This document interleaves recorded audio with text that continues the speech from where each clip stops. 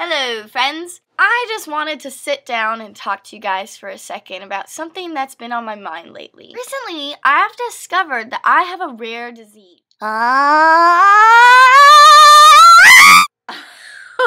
okay. I was walking back from class just now, and the wind was blowing through my hair.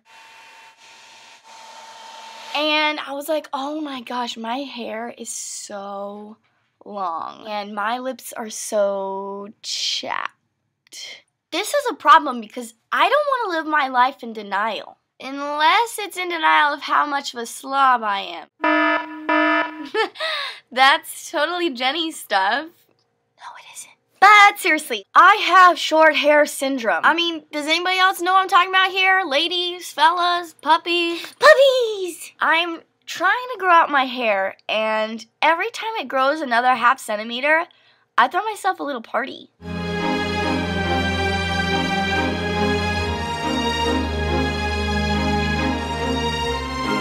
But usually after those victory dances, I realize that my hair is still short. Wait, is this video about hair? I'm I'm envious of long hair. So is that a yes that this is just about hair? Featuring the one teardrop that's stuck in my eye because I don't have long hair. I really want long strands of hair growing out of my scalp and flowing down my back. Doesn't that just sound great? Hey, you guys want to see me creep around the room real fast?